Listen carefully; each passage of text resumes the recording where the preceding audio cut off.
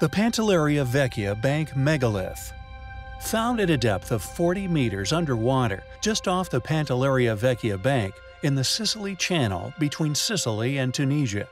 Interestingly, academically funded studies have suggested that the object appears to be of man-made origins.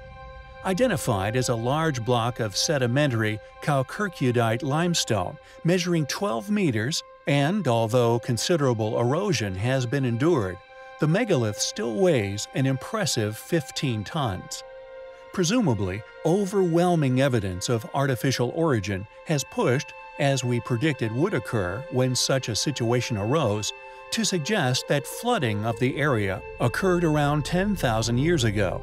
However, these estimates are again predictably conservative radiocarbon dating of shell fragments extracted from the stone itself have, on the contrary, given indications of the stone itself having been submerged for at least 40,000 years. The ocean floor surrounding the megalith has also been dated. Results show it is 10 million years old. Studies suggested that the multi-ton megalith was also intriguing, not native to its current position, but was imported from many miles away to this particular location, clearly for some now lost reason. These facts not only, just like the incredible Neolithic trilithons, menhirs, henges, and dolmens, show an incredible knowledge of an astonishing ability to cut, lift, move, and precisely place or lift, sometimes many meters aloft, massive stones seemingly with ease. There lies not a question, but a statement of fact. There was a lost civilization, the proof of which lay within all their accomplishments and the equally lacking retention of the knowledge, which now does not remain, as to how they did this.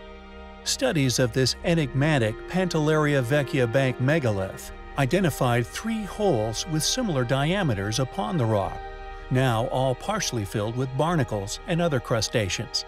One of the holes can still be visibly seen to extend all the way through the stones, possibly used to lift the stone into position. The megalith was discovered in 2015 during a seafloor mapping survey of an area called the Pantelleria Vecchia Bank, located about 60 kilometers south of Sicily. After scans indicated a large, rectangular, seemingly artificial object, divers and cameras were deployed to capture photographic evidence. The divers described what appeared to be a large monolith broken into two sections. Pantelleria Vecchia Bank is a shallow bay which was once a larger island. Now based on known sea level data, it is, according to funded study, estimated that the island last stood above the ocean level around 9,500 years ago. But these clearly take into account the existence of the megalith itself. There are megaliths on this Earth we know were moved by man, which far exceed the 1,000 ton mark. So a megalith of this size is well within the realms of possibility. And the fact that its existence has sent geological study into a frenzy we find highly compelling.